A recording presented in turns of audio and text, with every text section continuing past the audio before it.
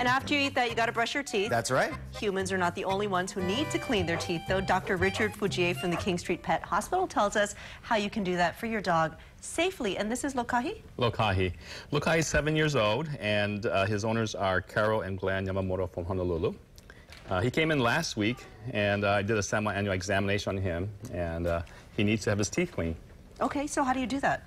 Well, um, uh, it's a under under general anesthesia, anesthesia, so we have to do some blood tests. We, so we did a blood test on him to check his underlying uh, check for underlying diseases and also organ function. And uh, we have him scheduled, I think, in a couple of weeks or so, or next week, I think, for the dental. He's so cute. He's just a cruiser. Look at him falling asleep while I pet him. He's a very mellow dog. Um, does the owner brush his teeth every day? I'm not too sure, but his, he, has, he, has, a lot of tartar, and so maybe Let's see about your teeth. did the examination. Um, he has a little halitosis and, and lots of tartar in his teeth, so we recommended a dental, and they okayed it. And so the uh, procedure is we do a blood test, make sure he's healthy.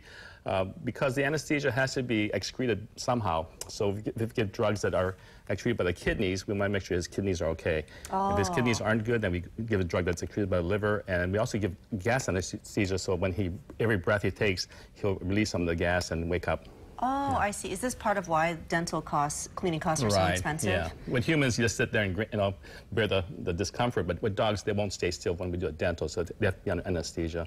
Okay. So we actually intubate them, put a tube down their windpipe, and give them oxygen and gas to maintain them during the procedure. And we have all the kind of monitoring systems. Now, technology has really improved a lot. So we have a pulse oximeter, a CO2 monitor for his gases. We're doing a EKG, all, all, these things are done while he's under anesthesia, IV catheter, IV fluids. Um, if you brush the dog's teeth uh, regularly like you're supposed to, mm -hmm. um, does that does that help in terms of how many lot. times you got to come in and do this? Yeah, brushing is the best way to uh, maintain your dog's teeth. Um, there's dental chews, rinses, um, uh, special foods for, for, for dogs to keep help teeth clean. But it's like humans, you keep brushing your teeth, but you still have to go in for cleaning every so often. Oh, my dog hates when I try to brush her teeth. Yeah, most dogs hate it. And I even got her meat flavored toothpaste, which my daughter was like, "Can I try this?" I'm like, "It sounds disgusting for us." Right.